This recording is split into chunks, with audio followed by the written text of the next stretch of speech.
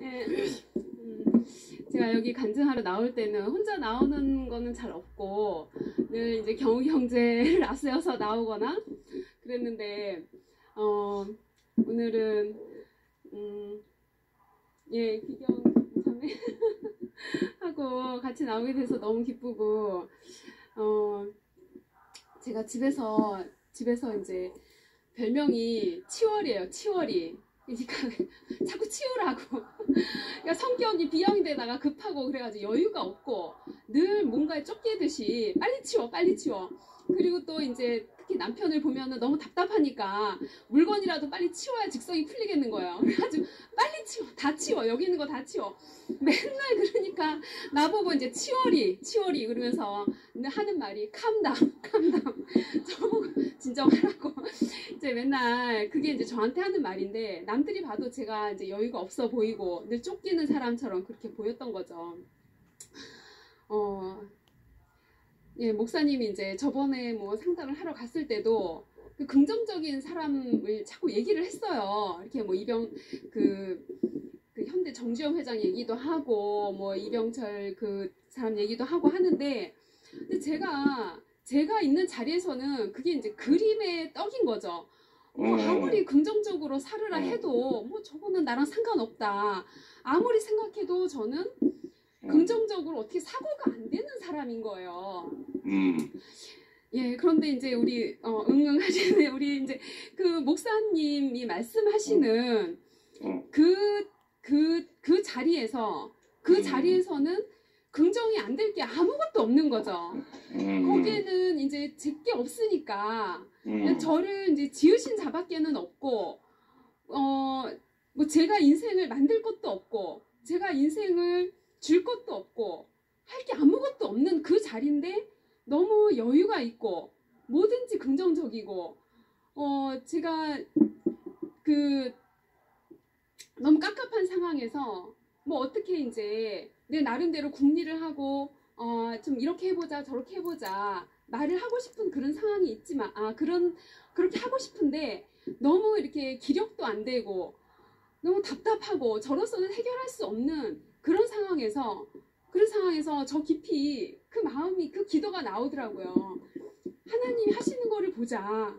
저한테는 음, 그 기도가 나올 수 있다는 게 너무 이렇게 감사하고 어, 그 목사님이 계시는 그 자리에 같이 이렇게 어, 서서 그 인생의 즐거움과 여유와 그 궁창을 마음껏 누릴 수 있고 이렇게 됐는 게 저는 너무 이렇게 감사하고 기쁘고 어, 제가 이제 그 시발점이 되는 그 사람이 규경이었어요. 이렇게 너무 안 되는 사람이고 답답한 사람인데 거기에 와서 네가 어, 두 가지 방법이 있는데 뭐 하나는 이제 세상적으로 해결하는 방법이 있고 또 하나는 판을 바꾸면 된다. 그 얘기를 했는데 그때 규경이 모습이 저는 이제 규경이가 늘 같이 사니까 그 어떤 사람인지 안단 말이에요. 제가 아는 규경이가 있는데 좀 깝깝하고 답이 없는 이제 그런 자매로 규경이를 알고 있는데 이해심은 많고 착하긴 하지만 근데 근데 어 그때 나보고 어 보통은 기경이가 저한테 좀 여러 가지를 많이 묻는 그런 상황인데 그날 저한테 어 그래 뭐 하나는 이제 뭐 네가 생각하는 그런 방법이 있고 하나는 판을 바꿔야 된다. 판을 바꾸면 되지. 이, 이 한마디 딱 하고 갔어요. 근데 그때 귀경이 얼굴이 그 귀경이 얼굴이 아니었던 거죠.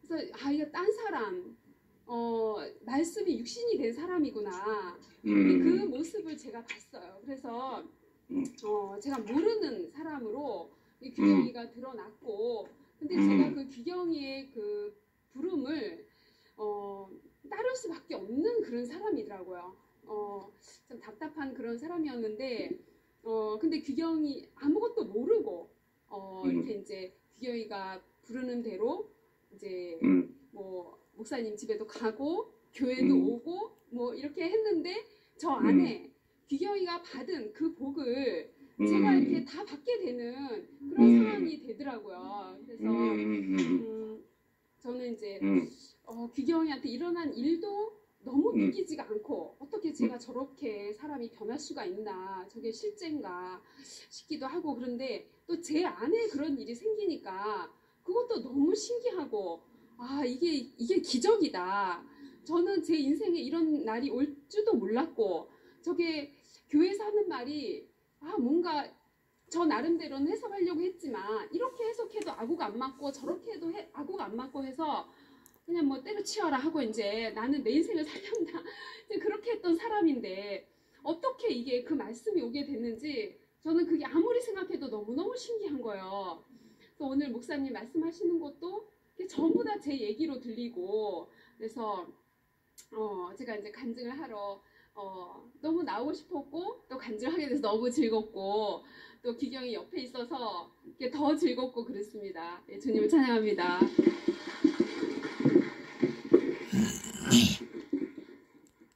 아, 아까 목사님께서 그 말씀을 듣고 다 좋다 하는데 혼자 고개 쳐박고 있는 사람이 있다고 제가 그런 사람이었거든요. 교회에서 막 말씀 듣고 사람들이 너무 충만해가지고 다 음. 좋다고 막 아멘하고 이렇게 있는데 저 혼자 음. 막 땅에 고개 쳐박고 모르겠다 하면서 그렇게 있던 사람인데 이렇게 함께 즐거워할 수 음. 있는 날이 왔다는 게 음, 너무 너무 감사하고 저한테. 이런 날이 올 줄 몰랐거든요.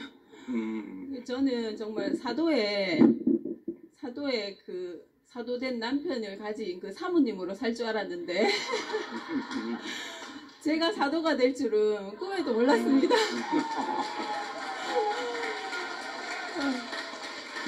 그 저는 제가 사도가 되고 싶은 마음이 정말 1도 없는 사람이었는데 어떻게 이렇게 모든 얽매인 곳에서 아까 목사님이 그 모든 얽매인 곳에서 다 풀어지고 자유와 해방을 얻었다 이것을 말하는 사람이 사도라고 했는데 음, 저는 정말 그 말을 평생 할 수 있을 것 같아요. 제가 음, 얼마나 깊이 기- 얽매이고 너무 그런 사람이었는데 거기에서 음. 정말 참 자유와 참 해방을 음. 얻었거든요. 그래서 음, 이 목사님 말씀을 들으니까 오늘 처음부터 끝까지 음. 너무너무 맞다 맞다 100% 200% 너무 아멘이 되는 거예요. 그래서 음. 어떻게 이렇게 다른 거 다 때려치우고 그냥 이 말씀의 말씀이 들린다는 거, 그 말씀이 음. 들려가지고 내가 기뻐할 수 있다는 거, 음. 아 그것이 그냥 내 인생에 너무 너무 큰 복이고 아, 말씀을 음.